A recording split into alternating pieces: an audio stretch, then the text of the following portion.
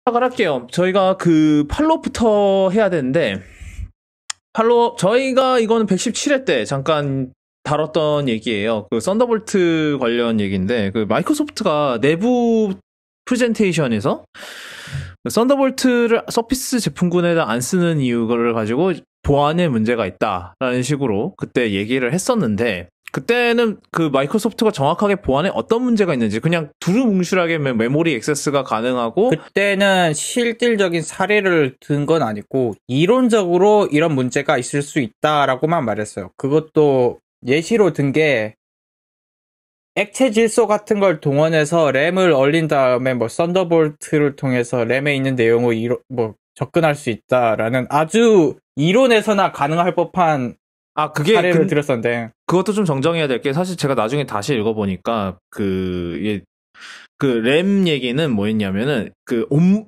그가 램을 그 보드에서 swap할 수 없게 만든 이유를 가지고 그렇게 얘기를 했더라고요. 그렇게 넥, 액화 질소를 얼린 다음에 빼서 다른 데다 꽂으면 그 메모리에 있는 내용을 뺄 수 있지 않냐. 그래서 우리는 메모리를 납땜을 한다. 그게 그 그 이유였어요. 예. 그거 그 얘기였고 이제 그 상태에서 또 썬더볼트를 통해서 램에 접근할 수 있으니까 썬더볼트가 구조적으로 그렇거든요. 음. 그래서 그 얘기도 했었고 예. 근데 그러고 나서 어, 이번 주에 썬더볼트 취약점이 실제로 있다는 게 알려졌어요. 어, 이거에 대해서는 어, 그 누가 좀 더 잘할까요? 어, 호로요이님? 네, 호리님이 어, 그- 많이 분석을 저도 하셨으니까 보안 쪽, 전 어느 쪽에도 전문가는 아닙니다만 보안 전문가는 더더욱 아니라서 음 망했네요. 우린 희망이 없어. Thunderbolt 이 네덜란드의 그 이쪽 보안 박사 학위를 따시 어, 가지신 이 비요른인 것 같아요 이름 예. 비어 맞습니다. 류텐버그라는 그 네덜란드의 이 화이트 해커죠? 이런 일을 하시는 음. 분들은 보안 전문가라고 하죠. 예. 보안 연구가.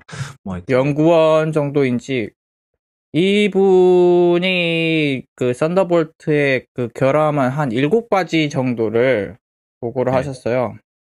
그래서 뭐 썬더볼트는 이제 그 장비 펌웨어 그 검증 절차라든지 아니면 장치 인, 어, 허가 절차라든지 이런 게 약하다부터 시작해서 쭉쭉쭉쭉 나가요. 그래서 이런 일곱 가지 결함 중에서 몇 가지를 시연하는 영상을 올렸어요. 그게 이제 썬, 이 분이 그런 결함들을 통틀어서 Thunderspy라고 했는데, 네. 그 영상 중 하나를 보면은, 어, Thunderbolt의 그 특징 중에 하나인 DMA. 즉, 그, 직접 메모리에 접근할 수 있는, 그러니까 호스트 컴퓨터의 램에 직접 그, 접근할 수 있는 그 기능을 이용해서 각종 이- exploit라고 하죠. 취약점 공격을 합니다. 네. 그 중에 하나가 뭐였냐면 이제 장비가 노트북이 sleep 모드에 있는 상태에서 Thunderbolt를 이용해서 음, 그 Windows의 그 잠금 화면을 우회하는 걸 보여줬어요. 어떻게 하냐면 일단 하판을 뜯어야 되는데 하판을 뜯어서 그 특수한 장비라고 하는데 특수한 장비라고 해봤자 그 몇백 달러밖에 안 한대요. 그 시중에서 쉽게 구할 수 있는 장비를 통해서 그 Thunderbolt 컨트롤러에 접근을 해서 그 Thunderbolt 펌웨어 그 컨트롤러의 펌웨어를 임의의 펌웨어로 씌우는 걸 시연을 했어요. 이게 그 결함 때문에 가능했다고 몇 번 결함이었는지 기억이 안 나는데 아마 펌웨어 결함 그 검증 절차의 결함을 이용해서 그렇게 덮어 씌운 것 같아요. 그렇게 해서 이제 Windows 그걸 이용해서 Windows bypass 그 뭐였냐 잠금 화면을 bypass하는 걸 보여줬고요. 그리고 두 번째 영상에서 보여주는 게 조금 더 뭐랄까 위험해 보이는데 왜냐하면 첫 번째 그 시연에서 보여주는 거는 노트북에서 노트북이라면 하판을 뜯어서 보드에 직접 접근을 해야 가능해요. 그런데 두 번째로 보여준 건 뭐냐면 이제 인텔도 이런 DMA 쪽 관련 결함이 있는 걸 알고 그 보안 대책을 몇 가지 해놓은 게 있습니다. 그래서 그걸 커널 DMA 보호라고 했는, 하는데 이걸 이제 그게 뭐냐면 이제 보안 그 썬더볼트의 보안 등급을 이제 사용자가 매길 수 있게 해놓은 거예요. 근데 그게 잠시 꺼져 있는 상태에서 미인가 Thunderbolt 기기를 꽂으면 꽂아서 그, 그 kernel DMA를 영구적으로 비활성화할 수 있는 그 exploit이 있었어요. 그 발견이 됐어요. 이게 SPI flash 인터페이스 결함이라고 이분이 명명을 했는데 이 네. SPI flash 결함을 이용해서 뭘 할 수 있냐면 그 펌웨어에 접근을 해서 그 메모리죠. 롬에 접근을 해서 이걸 임의로 아까 말씀드린 kernel DMA protection 임의로 끄거나 아니면 꺼, 꺼버린 다음에 그 롬을 읽기 전용 상태로 만드는 것까지가 가능해요. 이게 음. 뭐가 문제냐면 마더보드에서 kernel DMA protection 이제 다시 켜도 의미가 없어져요. 못 키니 이제 롬이 read only가 돼버리니까 영구적으로 못 키는 거예요. 그리고 음. 이건 그 상태가 되면 펌웨어도 펌웨어 업데이트 못, 못 하는 거고 네. 이 상태가 돼버리면 뭐, 뭐가 문제냐면 나중에 미인가 라든지 미인가 혹은 뭐 공격용으로 개발된 뭐 Thunderbolt 기기를 꽂았을 때 이- 여러분들의 장비가 그냥 무방비로 노출되는 거고 심지어는 흔적도 안 남기고 자료를 빼갈 수 있다. 그래서 이게 또 이분이 이분의 그 보고서에 따르면 그럼 과연 어떤 장비들이 영향을 받느냐? 맥 같은 경우는 어 영향을 아예 안 받는 건 아니고 지금 인게짓의 경우 아예 안 받는다고 해놨는데 아예 안 받는 건 아니고 특정 결함에 대해서만 아주 일부 영향을 받는데 그게 여기서 말하는 어, Weak Device Authentication Scheme이라고 해서 이건 우리말로 번역을 하면 장비 인증 절차가 약하다. 그리고 뭐 장비 인증 어 미인가 장비의 메타데이터가 사용될 수 있다. 이 두 가지 결함을 어, 이, 이두 가지 결함에 영향을 받아요. 그런데 이걸로 뭘 할 수 있냐면 뭐 bad USB 정 같은 공격은 할 수 있을 거다라고 얘기를 했고요. 네. 뭐 Windows나 Linux는 뭐 당연히 다 해당이 되고 이거 모든 취약점에 다 해당이 되고. 다- 예, 다 해당이 되는데 다만 90 1919년 아 1900이래 2019년이었나요? 그때부터 갑자기요? 예, 어, 고대- Intel이 고대 그 제- 프로토콜. 음. 예, 예, 제가 말씀드린 그 커널 DMA 프로텍션이 적용된 기기들은 여기서는 좀 보안 뭐냐 방어가 된다. 그러나 이거는 19 2018년인가 19년부터 적용이 사용되기 됐다고 시작한. 거고. 네.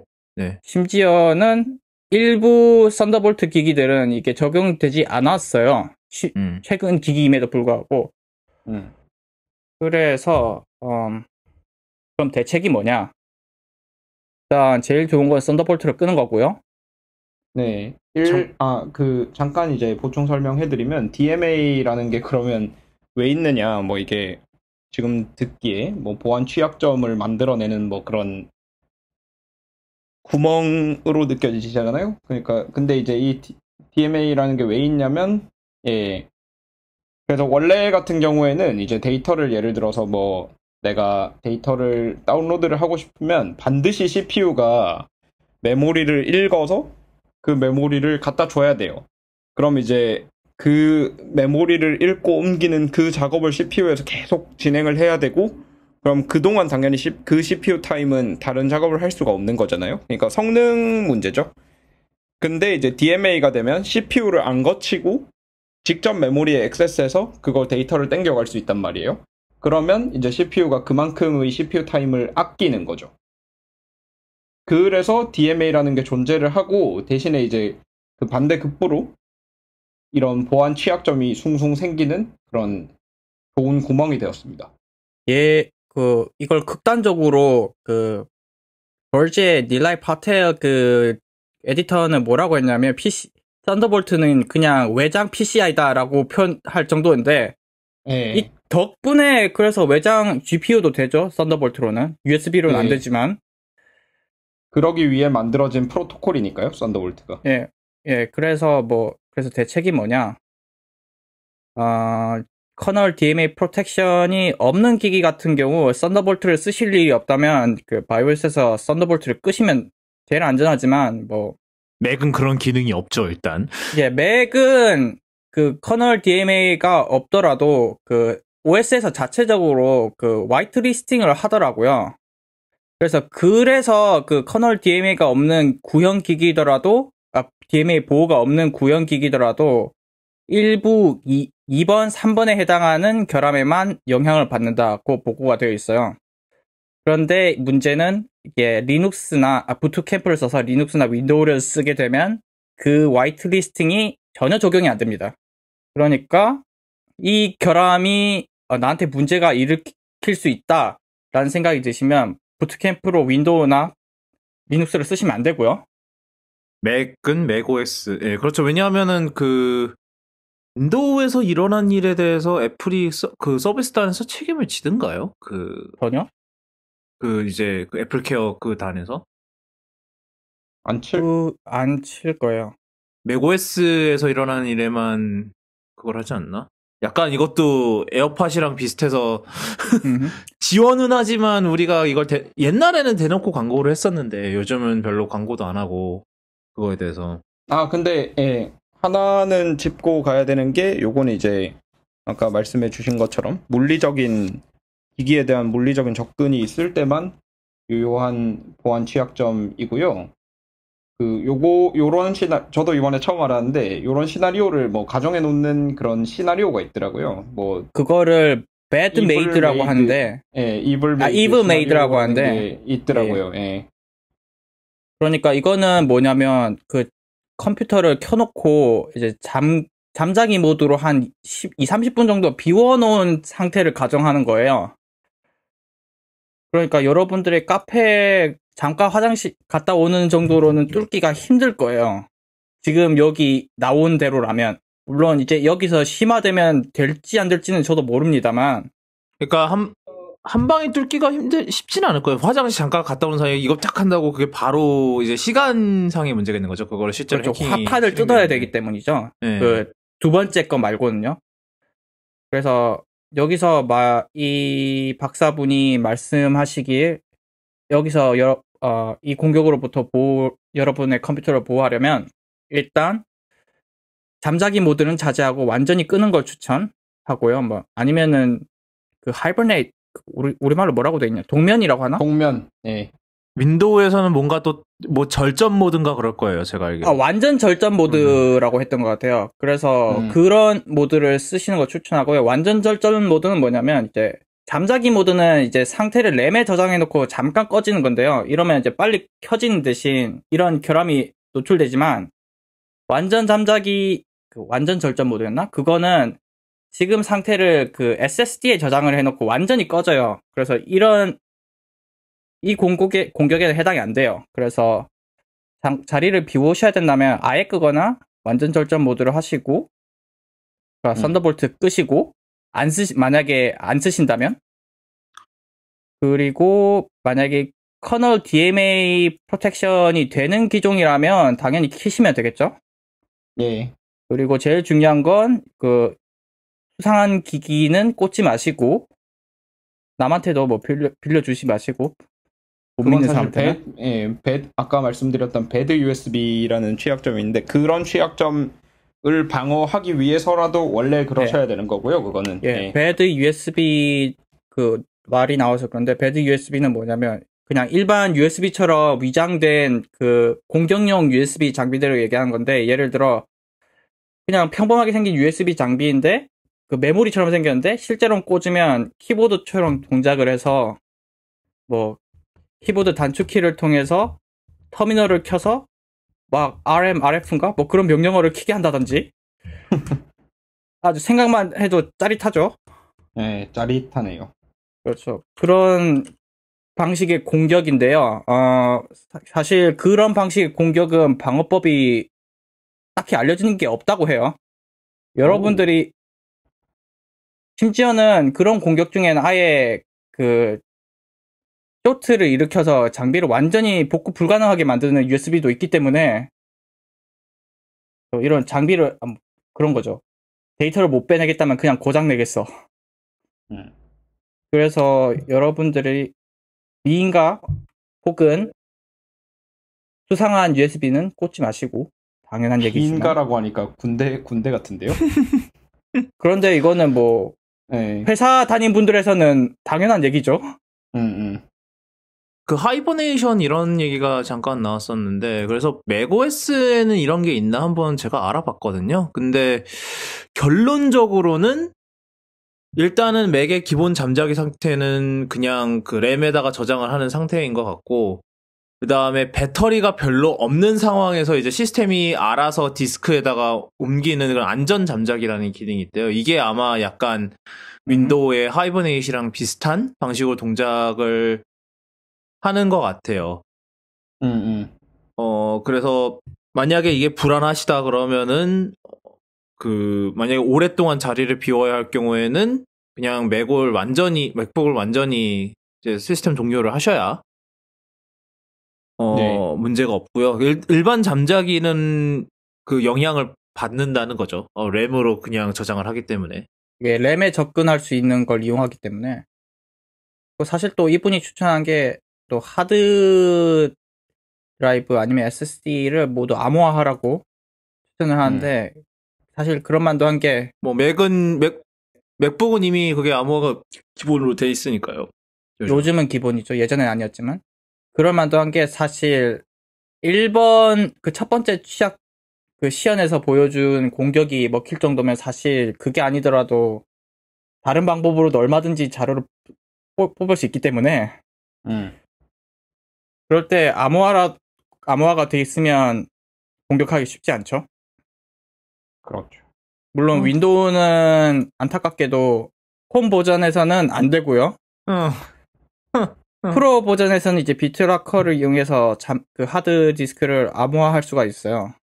뭐 이게 정말 마이크로소프트가 이것 때문에 뭐 썬더볼트를 서피스에도 안 넣었다 이거는 아닌 것 같기는 한데 이걸 알고 그 소리를 헬- 한 건지 이게 그런 그 생- 가능성도 있다고 생각은 해요. 왜냐하면 만약에 보통 이제 이런 보안 문제가 발견되면은 당사자들한테 먼저 알리는 게 당연히 그 이제 이 업계 관행이거든요. 약간 도리고 그런데 그리고 사실 실제로 그렇게 해야 사용자들의 피해를 최소화할 수 있으니까요. 네, 그렇죠. 음. 근데 그런 이런 걸 꼭 안 하는 애들이 있어요. 옛날에 몇 번 있었던 것 같은데 하여튼 근- 어, 여기 타임라인에는 저 인텔에 처음으로 알린 게 올해 2월 4, 2월 11일로 되어 있어요. 그래서 이 그래서 이미 알았을 가능성도 있을 것 같아요. 그- 이미 알고 그 얘기를 써놓긴 했는데 자세하게 뭐라고는 얘기를 못하니까 그렇게 두루뭉술하게 쓴 게 아닐까라는 그런 생각도 들기는 하고 뭐 물론 거기다가 어차피 인터널 프레젠테이션이었잖아요 그때. 그래서 그거를 생각하셔라도 뭐 이미 알고 있지 않았을까라는 생각도 들기는 하네요. 좀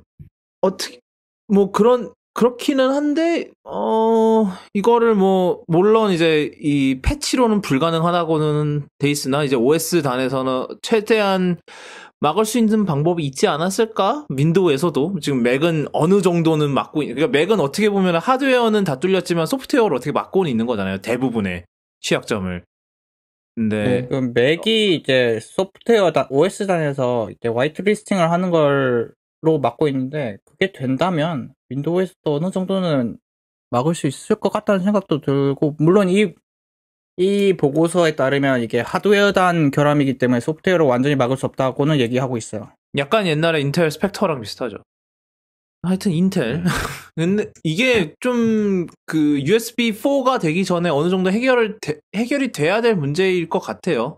왜냐하면 Thunderbolt 3의 프로토콜을 기반으로 USB 4가 만들어질 거기 때문에 그렇죠.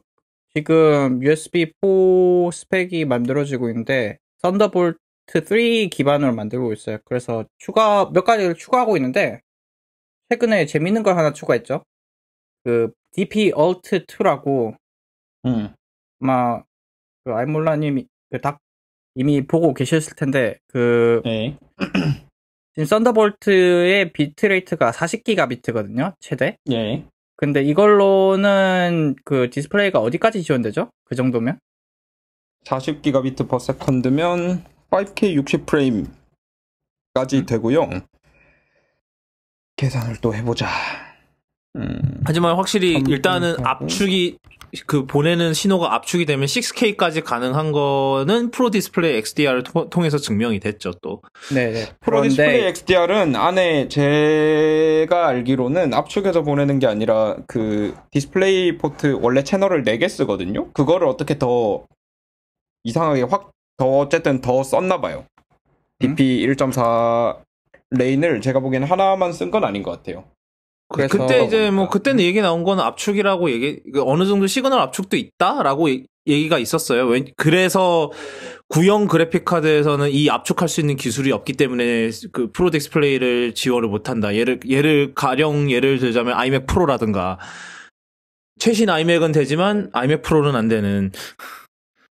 뭐 그래서 중요한 건 그게 아니고 USB 4.0에서 지원하는 이제 DP Alt 2 모드는 어, 뭐가 아주 재밌는 게 뭐냐면 USB 그 Thunderbolt가 40기가비트라는 건 이제 upstream 40기가비트, downstream 40기가비트라는 건데 음. 예. 디스플레이는 솔- 그럴 필요가 없잖아요.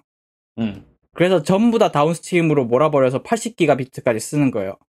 그래서 이론상 뭐 8K가 되고 4K 같은 경우는 HDR에 120Hz까지 된다던가? 예. 그래서 그게 이제 USB4 스펙으로 정해졌어요. 뭐 아무튼 그런 식으로 Thunderbolt 4 기반으로 막 이것저것 한답니다. 정, 스펙이 완전 확정되기 전에 이런 결함은 잡아야겠죠. 네. 네, 어, 저희 Thunderbolt로 25분 썼습니다. 큰일 났다. 가망이 없다. 자, 오늘은 긴 하, 긴 밤이 될 것으로 예상이 되니, 정신 바짝 차리고,